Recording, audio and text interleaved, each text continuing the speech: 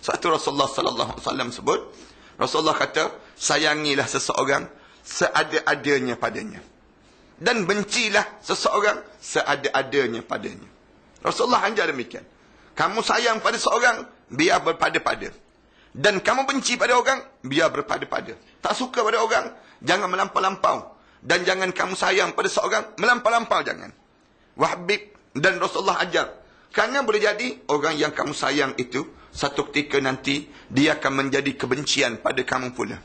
Dan orang yang kamu benci itu, satu ketika nanti, akan menjadi kesayangan dalam hidup kamu pula.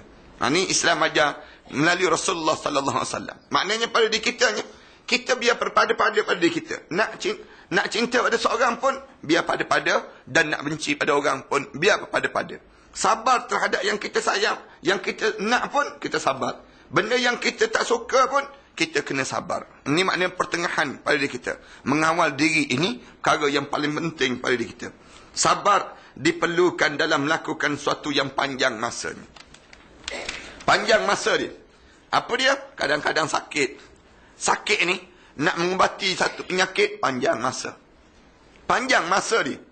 Dia tidak terus makan ubat, terus menjarak terus. Yang ada juga, makan ubat menjarak terus. Misalnya contoh pening kepala, makan penado sekejap. Maka hilang terus. Ada juga penyakit yang panjang masa dia. Kita nak pulihkan penyakit ni, bukan sehari dua. Makan masa yang panjang. Sama juga dengan kenderaan. Kenderaan kita ni, ada kenderaan yang kita pergi ke bengkel, kejap je kita baiki. Ada kenderaan yang kita pergi bengkel ber, berminggu-minggu dalam bengkel ini. Kenapa? Kerana penyakit berbeza-beza. Sama juga dengan kita.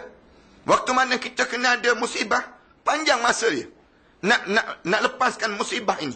Bukan sehari dua tak. Dia akan manjang masa yang kita kena lalui.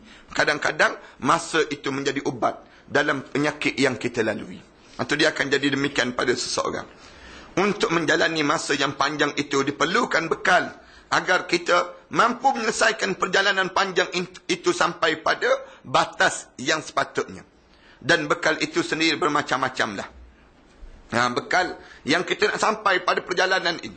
Kadang-kadang dia ambil masa yang panjang. Untuk kita nak boleh kuatnya pada diri kita. Kita buat contoh yang mudah pada dia. Penyakit. Penyakit apa dia orang yang kena penyakit ni. Penyakit TB. Makan masa dua tahun nak makan ubat. Tu baru TB yang tak ada color. Kalau ada color lagi teruk. Nak sebutnya gambaran gambaran bagaimana penyakit penyakit yang kena demikian. Dua tahun makan ubat, makan, makan. Nak boleh pulih pada diri dia. Kita tengok penyakit ini, bukannya saya dua. Dalam hidup seorang, ada orang yang kena sekejap je. Tapi ada orang yang makan masa yang panjang dalam hidup dia untuk nak pulihkan pada diri seorang tersebut. Kemudian, dan bekal itu bermacam-macam. Yang pertama, menimbang kadar ujian itu yang mampu akan jadi lebih besar daripada yang dibayangkan. Bekalan kita ni, kita kena kita kena timbang setiap bekalan kadar ujian yang kita kena ini. Tengok pada diri kita. Berapa lama agak-agaknya yang Allah jadikan pada kita ni dan berapa lama Allah akan jadikan ujian ini. Tengoklah bergantung pada seorang. Anda buat contoh yang mudah kan. Kadang-kadang orang yang diuji dengan ujian yang yang ditimpa dalam musibah kehidupan berkeluarga misal contohnya. Kadang-kadang makan masa panjang je. Allah jadikan seorang. Tengok yang yang kena masuk dalam ICU tu. Selama mana dia di ICU? 31 tahun baru dia mati.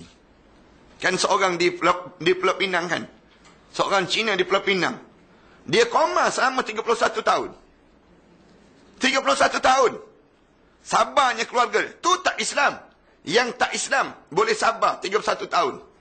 Koma 31 tahun. Kalau yang tak Islam boleh sabar sedemikian rupa. Kenapa kita orang Islam tak boleh sabar sedemikian rupa? Kita kadang-kadang sikit dia kena ujian. Tapi kita tak sabar lah. Orang yang tidak Islam tu dia boleh bertahan, boleh bertahan sampai 31 tahun. Baca dalam tak khabar tu, baru dia meninggal dunia. Allah boleh bayang berapa dahsyatnya dan berapa lamanya tekanan kekeluargaan dia.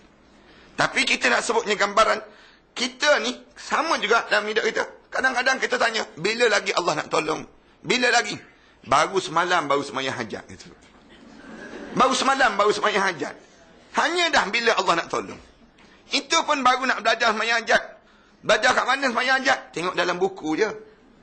Tengok dalam buku je. Kadang-kadang tengok dalam YouTube macam mana cara nak semayang hajat. Nak sebut gambaran bagaimana kita. Betapa tak sabarnya. Dalam kadar yang Allah jadikan pada kita ini. Mana kadar-kadar pada kita. Nabi Ayub AS.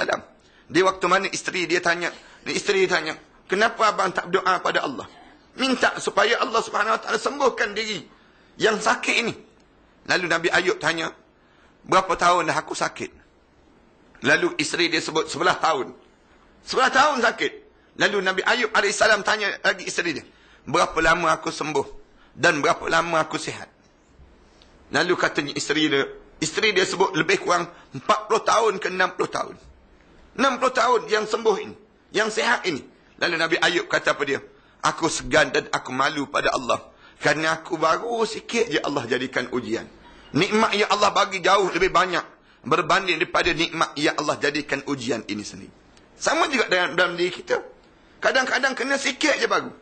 Kena sikit je, kita dah mula mengeluh. Kenapa kita dan kenapa tidak mereka? Mulut kita senang sebut. Kenapa kita? Kenapa tidak orang lain?